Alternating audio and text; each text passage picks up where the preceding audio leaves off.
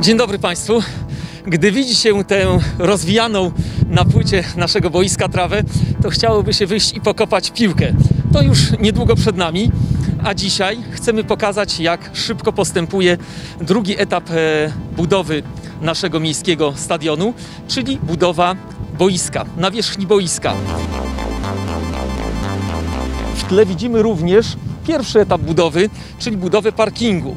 E, Ta budowa parkingu ma się zakończyć w czerwcu. E, Jest to kwota 800 tysięcy złotych. Budowa płyty kosztuje nas 3 miliony 200 tysięcy złotych, a przed nami jeszcze budowa trzeciego etapu.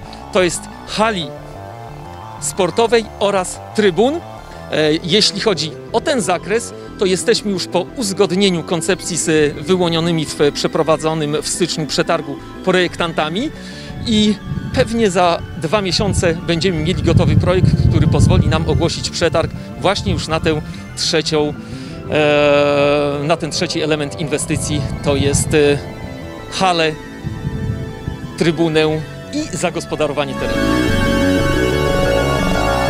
Tak jak widać, prace nasze postępują zgodnie z harmonogramem. E, Wszystko ma być oddane i zakończone na koniec maja. E, Prace postępują też e, łagodnie i zgodnie, tak jak mówiłem wcześniej, z terminem, bez żadnych komplikacji. Bardzo dobra współpraca z urzędem, z panem prezydentem, wymiana informacji, e, ustaleń. Także wszystko w najlepszym porządku. Oby więcej z naszej strony y, takich inwestorów i będziemy wszyscy zadowoleni. Dziękuję bardzo.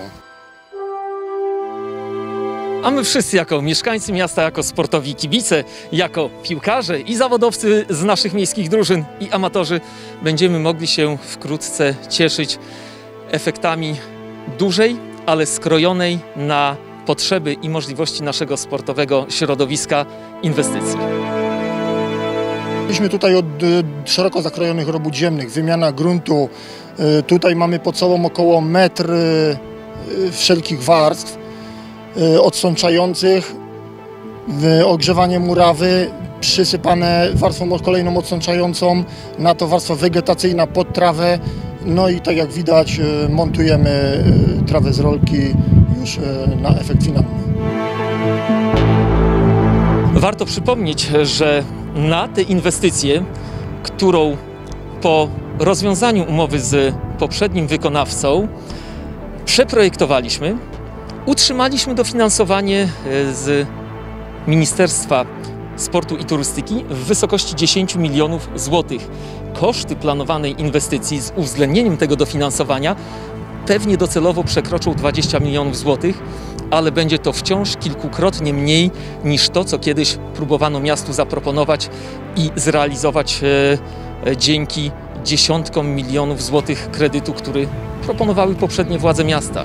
Dziś, działając po gospodarsku, ale przede wszystkim skutecznie, efektywnie, pracowicie, czego efekty Państwo możecie w tej chwili obserwować, jesteśmy w stanie zaproponować mieszkańcom miasta inwestycję adekwatną do naszych możliwości, ale w pełni zabezpieczającą nasze piłkarskie potrzeby. Terminowo wszystko przebiega. Do końca maja mamy umowny termin na wykonanie całej inwestycji. Nie jest zagrożony. Zgłaszamy do odbioru z końcem maja. Myślę, że już trawa się zakorzeni do tego czasu. Wykonamy jeszcze kilka zabiegów e, upiększających i będzie można już w pełni z niej korzystać.